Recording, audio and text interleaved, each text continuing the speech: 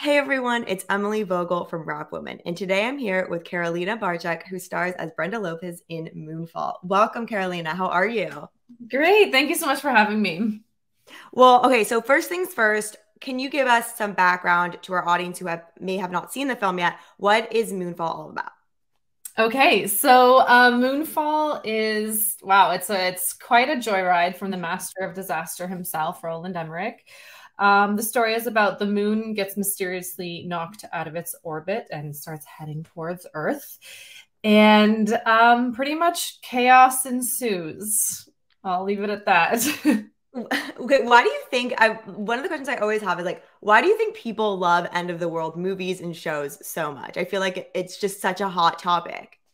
Do you know what? I think that when we are kids, we always like to scare ourselves like there's a shark in the bathtub or there's crocodiles in the pool or don't touch the ground. It's lava. I think that human beings love to we love to scare ourselves. And this is just the adult version um, because adults have money and can make movies. Now we get to scare ourselves again to say like what would it be like if you know i got bit by a radioactive spider and i had powers and became a spider woman man or, uh, you know, what would it be like if the moon started heading towards Earth? Like, how would I deal with that? I think that's just in our human nature to always imagine, like, have, you know, these scenarios and imagine how we would react.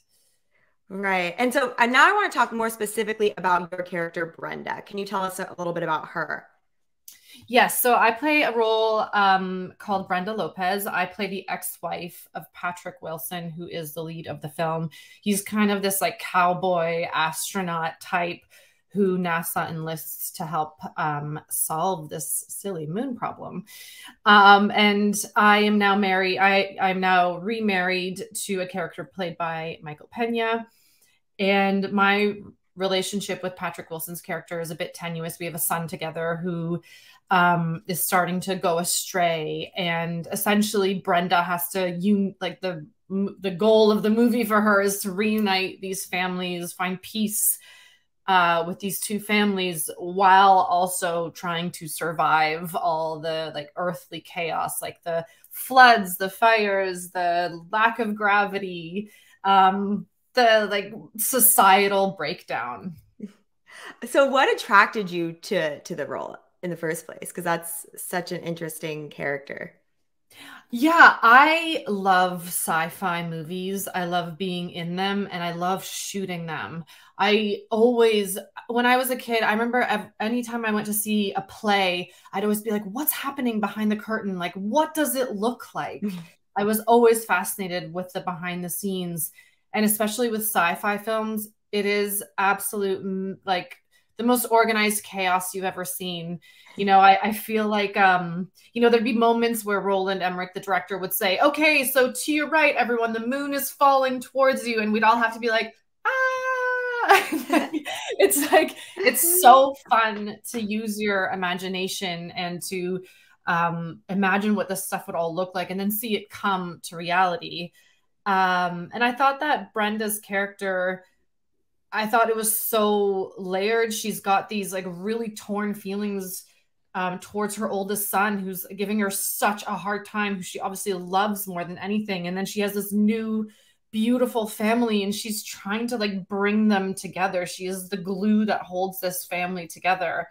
Meanwhile, you know, there's absolute, you know, chaos taking place on Earth. What do you think the most challenging part of stepping into that role was? Um, what I find challenging about being an actor in general is the amount of mystery behind um, shooting. Like you, especially during the pandemic, we did not have a chance to sit down with Roland and speak with him about how he envisioned this to be. Usually, you get to intro- you get introduced to all the actors, um, and so you start just having that a relationship and vibe with them and getting a sense of who they are and how they might play the character because of that we shot like before we even had um before we had the immunizations like it was we didn't get to have any of that. So the first moment i met halle berry was when we were shooting the scene. You know the first moment i met patrick wilson was moments before we were shooting the scene. So it was um it was very challenging to try and find that dynamic as quickly as possible.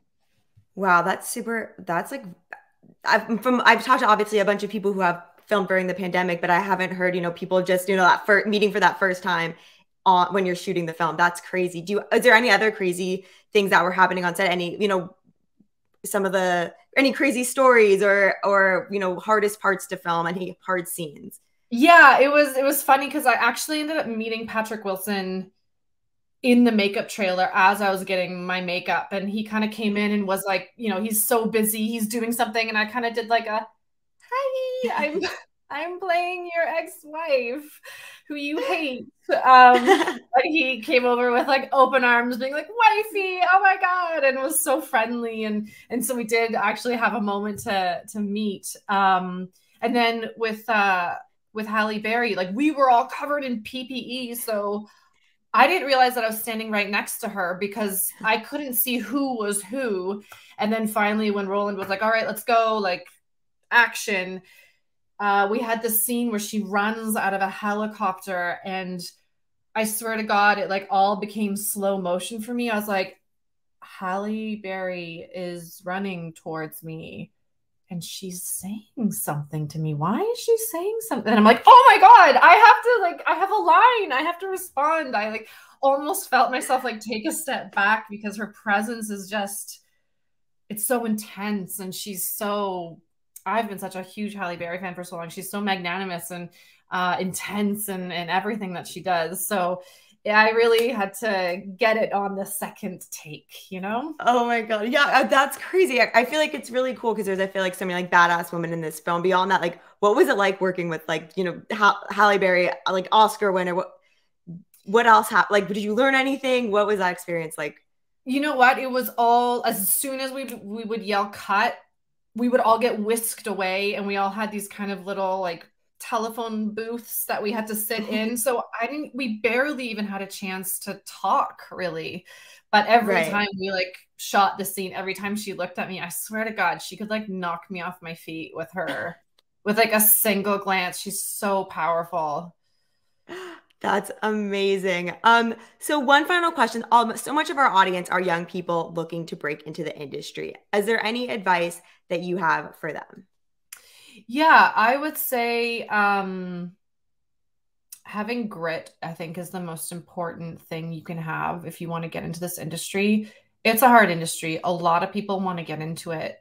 So there's a lot of competition. For me, um, I think the biggest thing that has worked for me is to never give up, like have that tenacity.